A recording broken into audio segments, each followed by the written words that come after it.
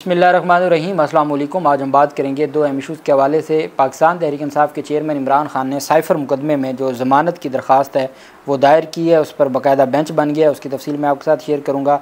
साथ हम बात करेंगे जिना हाउस हमला केस में जो चलान है, उसमें एतराज़ात लगा के उस चलान को वापस कर दिया है। स्पेशल प्रोसिक्यूटर फ़राद अली शाह ने। उसकी तफसील भी मैं आपके साथ शेयर करूँगा और पेट्रोलियम की कीमतों में इजाफे के ख़िलाफ़ अदालत में जो दायर दरख्वास्त हुई है उसकी। ये बेसिकली चूँकि पेट्रोलियम की जो कीमतें हैं, वो हमारे यहाँ एक तमाशा बन चुका है। आए रोज़ कीमतें बढ़ाई जाती हैं और अब तो सीधा छब्बीस रुपये पहले एक दो रुपये जमहूरी हुकूमतों में पेट्रोल जब उसकी कीमत बढ़ाई जाती थी तो तूफ़ान खड़ा हो जाता था। लेकिन अब ऐसी चुप करवा दी गई है, मीडिया के मुँह इश्तहारों से भर दिए गए हैं और खौफ इतना फैला दिया गया है कि अब कोई बात भी करता दिखाई नहीं देता। लेकिन लोगों को शूर आ गया है कि ये पाकिस्तान पीपल्स पार्टी और नून लीग का दिया गया तोहफ़ा है कौम को, और जिसकी वजह से ये निगरान हुकूमत ये सारा कुछ कर रही है। लाहौर हाई कोर्ट में पेट्रोलियम मसनूआत की कीमतों में हालिया इजाफे के खिलाफ दरख्वास्त दायर की गई है।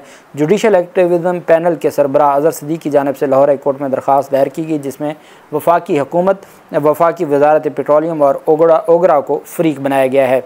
दरख्वास्त में मौक़ अख्तियार किया गया है कि आलमी मंडी में पेट्रोलियम की कीमतें कम, जबकि पाकिस्तान में मुसलसल बढ़ रही हैं। पाकिस्तान में पेट्रोलियम मसनूआत की कीमतों के तयन का कोई निज़ाम नहीं है। दरख्वास्त गुजार ने कहा कि कीमतों में हालिया इजाफा से महँगाई में मज़ीद इजाफा होगा। और पेट्रोल बुनियादी ज़रूरत है, जिसे महँगाई की सूरत आवाम से दूर नहीं रखा जा सकता। आज जो ट्रांसपोर्टर्स हैं, उनकी जानब से बाकायदा तौर पर ऐलान किया गया है और ट्रांसपोर्टर्स का ये कहना है कि वो अगर उनके मुतालबात नहीं माने जाते तो 20 से 23 सितंबर वो पहिया जाम हड़ताल करेंगे। सिर्फ़ जो निगरान हुकूमतों की जानब से पेट्रोल की कीमतों में इजाफा किया गया है, इस बाबत उन्होंने ये ऐलान किया है कि वो पहिया जाम हड़ताल करने जा रहे हैं।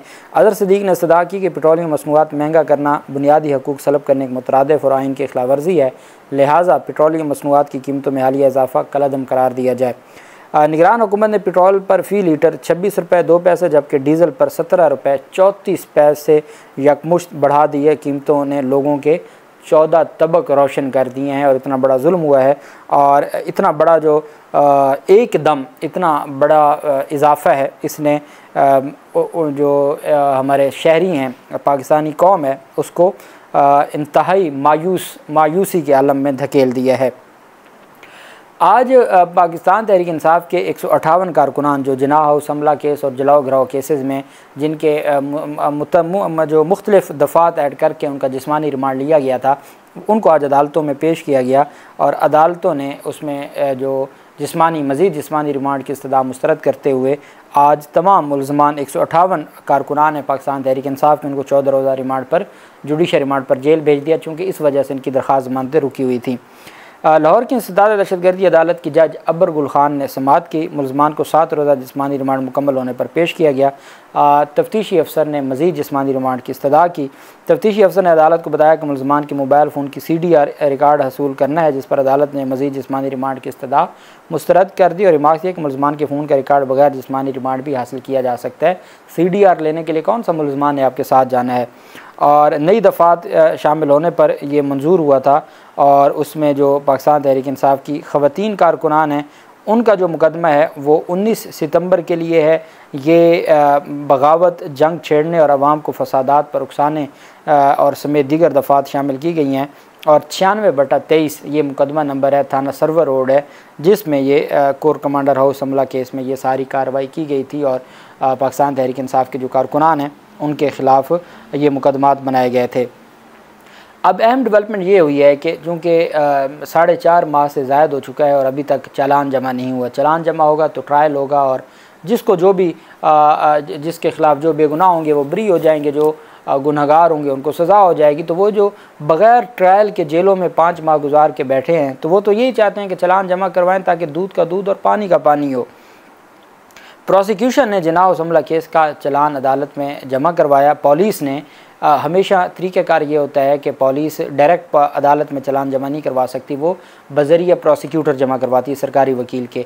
अब यहाँ पे स्पेशल प्रोसिक्यूटर फ़रहाद अली शाह तैनात किए गए हैं निगरान पंजाब हुकूमत की जानब से कि वो इन सारे केसेस को देख रहे हैं। उनके पास जो कोर कमांडर हाउस हमला केस और बाकी जो जलाओ घिराव के केसेस थे, उसमें चलान जमा करवाया गया। प्रोसिक्यूशन ने जना हाउस हमला केस का चलान एतराज़ात लगा के वापस कर दिया है। और प्रोसिक्यूशन ने तफ्तीशी अफसर तफ्तीशी अफसर को अवाम नाज को बगावत पर उकसाने के मतलब तमाम वीडियोस को चलान का हिस्सा बनाने का हुक्म दे दिया है और साथ बगावत का इल्ज़ाम और दफात शामिल करने की भी हदायत की गई हैं। अब बगावत की 124 से ख़ुद लाहौर हाई कोर्ट ख़त्म कर चुकी है और एक मुकदमा लाहौर हाई कोर्ट में दायर किया गया था कि जो अमल दरामद है 124 से सीडिशन को ख़त्म कर दिया गया है और उस पर अमल दरामद की दरख्वास्त उस पर भी लाहौर हाई कोर्ट के जस्टिस शाहिद करीम साहब ने जवाब तलब किया हुआ है। लेकिन जो स्पेशल प्रोसिक्यूटर हैं, उन्होंने इस वजह से इतराज़ लगा के वापस कर दिया कि इसमें एक तो बगावत को शामिल करें और बगावत से मुतल जो वीडियोज़ हैं, उसको भी चलान का हिस्सा बनाया जाए। अदालत ने तफ्तीशी अफसरान को चलान एतराज़ दूर करके पेश करने का हुक्म दिया है। स्पेशल प्रोसिक्यूटर फराद अली शाह ने चलान तीन रोज़ तक एतराज़ दूर करके पेश करने की यकीन दहानी करवा दी। जना असम्बला केस में सैनिटर एजाज चौधरी उमर सरफराज चीमा असद उमर शाह महमूद कुरेशी इमरान खान और दीगर शामिल हैं और चलान अदालत में पेश होने के बाद मुकदमे का ट्रायल शुरू होगा और चूँकि अब चलान जमा हो गया है तो इमरान खान से मज़ीद को तफ्तीश की ज़रूरत नहीं है। इसी वजह से हमेशा ज़मानत तब नहीं दी जाती जब तफ्तीश की ज़रूरत होती है। जब तफ्तीश हो गई हो तो फिर आ, हमारे जो अदालतें या जो हमारा निज़ाम है वो रिलीफ़ दे देता है। पाकिस्तान तहरीक इंसाफ के चेयरमैन इमरान खान इन सात मुकदमात में ज़मानत दायर कर चुके हैं और लाहौर हाई कोर्ट में एक दफ़ा समात हुई है। उस वक्त आलिया नीलम साहिबा थी उस बेंच की सरबरा छुट्टियाँ थीं तो आलिया आलिया नीलम साहिबा के पास था सलमान सफदर साहब पेश ना हुआ जिसकी वजह से उन्होंने आ, उसको लंबी तारीख दे दी। अब चूँकि इस्लामाबाद हाई कोर्ट का इससे मुतल एक फ़ैसला भी है तो पाकिस्तान तहरीक इंसाफ के वकला चाहते हैं कि हम पहले इस्लामाबाद हाई कोर्ट से जो नौ मुकदमात में अबूरी ज़मानत खारिज होने के फ़ैसलों को चैलेंज किया गया था, पहले वो डिसाइड करवा लें और फिर हम लाहौर हाई कोर्ट आएँ। उसमें अब बेहतरी ये आई है कि आमिर फ़ारूक साहब के साथ जो बेंच बना है, वो जस्टिस बाबर सत्तार साहब हैं। अभी जो रोस्टर जारी किया गया है पहले तारिक जहांगीरी साहब थे, तारिक महमूद जहांगीरी साहब। अब ये नहीं पता कि पाकिस्तान तहरीक इंसाफ के केसेस के लिए स्पेशल बेंच बनाया जाए और उसमें जो आमिर फ़ारूक साहब के साथ तारिक जहांगीरी साहब को ही बिठाया जाए। लेकिन अब तक जो सामने आया है वो यही है कि पाकिस्तान तहरीक इंसाफ के जो हैं दरख्वास्तें हैं, उन पर और इमरान खान की दरख्वास्तों पर बेंच जुमेरात को समात करेगा, जो आने वाली जुमेरात है। और उम्मीद यही है कि बाबर सतार साहब उस बेंच का हिस्सा होंगे। दूसरी जानब पाकिस्तान तहरीक इंसाफ के चेयरमैन इमरान खान ने अपनी जो साइफ़र मुकदमे में ज़मानत खारिज हुई थी, उसको चैलेंज कर दिया है इस्लामाबाद हाई कोर्ट में। इसमें दो डेवलपमेंट्स हुई हैं। एक तो साइफ़र मुकदमा में क्वेशमेंट की पिटीशन फ़ाइल की गई है जो एफ़ आई आर को खारिज करने की। एक तो वो दरख्वास्त है जिसके ऊपर 19 सितंबर के लिए नोटिस जारी किया है। एक है साइफ़र मुकदमे में ज़मानत की दरख्वास्त। और अब ज़मानत की जब दरख्वास्त जो दायर की गई है, वो इमरान खान ने अदालत से ज़मानत पर रिहा करने की इस्तः की है और उन्होंने कहा कि ज़मानत पर रिहा किया जाए। उन्होंने दरख्वास्त में कहा कि इस्तगासा ने बदनीयती पर मबनी मुकदमा दर्ज किया और मुझे बदनीयती से इस मन घड़त मुकदमे में नामजद किया। चौदह सितंबर को ऑफिशियल सीक्रेट एक्ट की खसूसी अदालत ने बेजाबतगियों और सगासा के मतद तजादात को मुकम्मल तौर पर नज़रअंदाज करते हुए दरख्वा ज़मानत मुस्रद की। इस्लामाबाद हाई कोर्ट ने उनकी दरख्वास्त को समात के लिए मुकर किया है। पाकिस्तान तहरीक इंसाफ के चेयरमैन इमरान खान की बारहा अदम अतमाद और बारहा गुजारशात दरख्वास्तें सुप्रीम कोर्ट दरख्वास्त दायर की है सुप्रीम जुडिशल कौंसिल में दरख्वास्त दायर की है इस अदालत में दरख्वास्तें दायर की हैं कि आमिर फ़ारूक साहब मेरा केस ना सुने। और उन्होंने बाकायदा तौर पर जेल से भी पैगाम भेजा पहले भी वो दरख्वास्त कर चुके हैं लेकिन आ, कोई सूरत नज़र नहीं आती कोई उम्मीद बर नहीं आती। ऑनरेबल जो चीफ़ जस्टिस हैं आमिर फ़ारूक साहब फिर केस उनके पास लग गया। मैं इस वजह से बड़े अदब के साथ इख्तलाफ करते हुए कि हमारे वो लोग जो उम्रता बंदयाल पर हम ख्याल बेंच का या हम ख्याल जजेस का इल्ज़ाम लगाया करते थे, मैं ये कहता हूँ कि क्या कभी आपने ये मिसाल देखी कि किसी जज के ख़िलाफ़ जो पीडीएम के ख़िलाफ़ केसेस थे और वो जो बेंच होते थे, वो सियासी केसेस थे, वो मफाद आमा के केसेस थे। उसमें अगर हुकूमत की जानब से, हुकूमत पहली बात तो ये एतराज़ नहीं कर सकती। अगर हुकूमत एतराज़ करती भी थी तो वो हुकूमत का जो कुछ ज़ाती मामला नहीं होता था, वो शहबाज शरीफ का कुछ ज़ाती केस नहीं होता था, वो बिलावल जरदारी का ज़ाती केस नहीं होता था, वो मफाद आमा के केसेस होते थे और वो अवाम नास से जुड़े होते थे। उन केसेस में बेंचों में इतराज़ नहीं बनता था या अदालतें इतराज़ को नहीं मानती थीं। अब यहाँ क्या हो रहा है? यहाँ ज़ाती केसेस हैं। इमरान ख़ान के ख़िलाफ़ ट्रायल हैं। इमरान ख़ान के ख़िलाफ़ फ़ौजदारी केसेस हैं। फ़ौजदारी केसेस और फ़ौजदारी ट्रायल में आपको फेयर ट्रायल का हक मिलना ये आपका बुनियादी हक है। आर्टिकल टेन ए वो फेयर ट्रायल की बात करता है कि हर शख्स को, हर पाकिस्तानी शहरी को फेयर ट्रायल दिया जाएगा। अब वो फेयर ट्रायल इमरान खान को नहीं दिया जा रहा। फेयर ट्रायल से तो ये मुराद होता है कि जब वो, उन्होंने जज दिलावर पर इतराज़ किया, वो दरख्वास्त आज तक पेंडिंग पड़ी है, वो उस पर कुछ ना हुआ।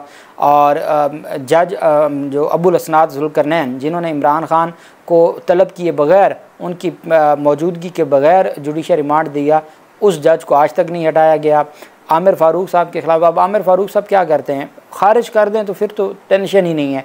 वो डिले करते हैं। जब वो डिले में रख लेते हैं तो ना आप सुप्रीम कोर्ट जाने वाले होते हैं और इसी डिले की वजह से तो हमायूं दिलावर को पूरा मौका दिया गया और उन्होंने फ़ैसला सुनाया। अगर स्टे दे देते, ना देते, खारिज कर देते, सुप्रीम कोर्ट से स्टे हो जाना था, लेकिन वो स्टे भी नहीं देते थे और तारीख पर तारीख करते थे।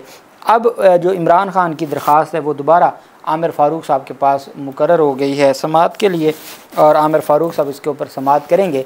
और मैं ये समझता हूँ कि हमारा जो निज़ाम है, उसको बेहतर अंदाज में अगर चलाना था तो जो भी दरख्वास्त गुजार की इस्तः होती है, उसको सुना जाना चाहिए।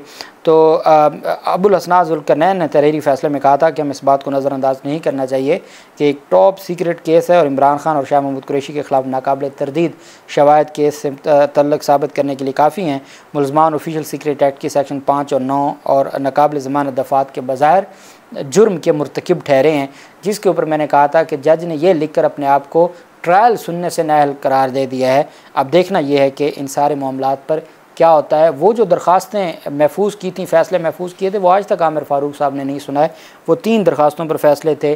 अडयाला से अटक जेल से अडयाला जेल मुंतकली, ट्रायल का अटक जेल और जज की जो थी अपना अहलियत, वो आज तक नहीं डिसाइड किया। ये हमारे मुल्क का निज़ाम है। अल्लाह पाक पाकिस्तान का हमें नासिर हो।